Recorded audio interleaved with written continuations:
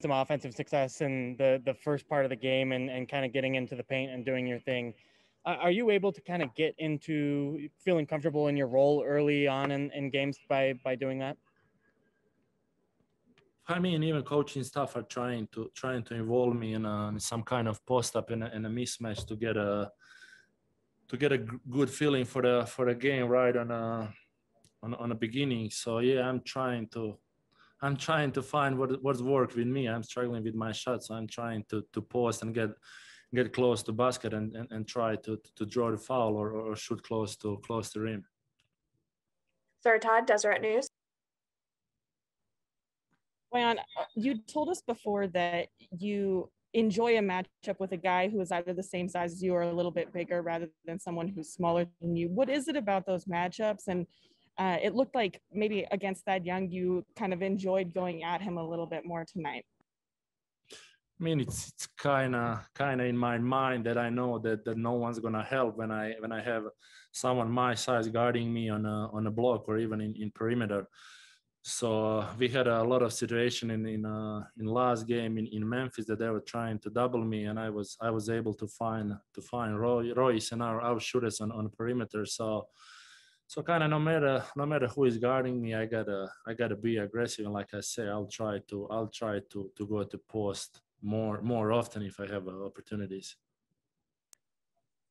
Eric Walden, Salt Lake Tribune.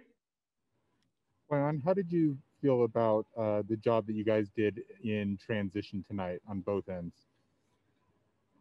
I mean, I think that we were we were not great on, on defensive transition. We, we didn't we didn't we didn't use our our fouls before the before the bonus situation. So they had a lot of easy easy buckets, but five on five we were we were great. So I think overall our defense was solid. But yeah, you're right. I think that our our transition transition defense gotta gotta be better, and we gotta use our fouls better.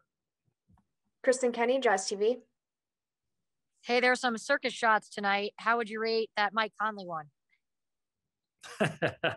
he won the the All Star Challenge last year, right? Of the those I don't know how you guys call them circus shots. So so he's the he's the best one that from our team that he can he can make those. So so credit to him.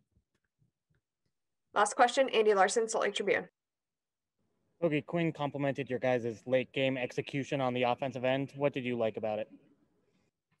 I mean, we kind of we kind of find two three situation that works pretty well pretty well for us, especially with uh, Donovan Donovan and Mike playing those games over there on, on the top of the key with the with the Rudy. We are really executing well on the end of the game. So just putting the ball in in, in Mike and, and Donovan's hands really really help all of us actually. All right, that's it. Thank you, Bojan. Uh, yeah, yeah.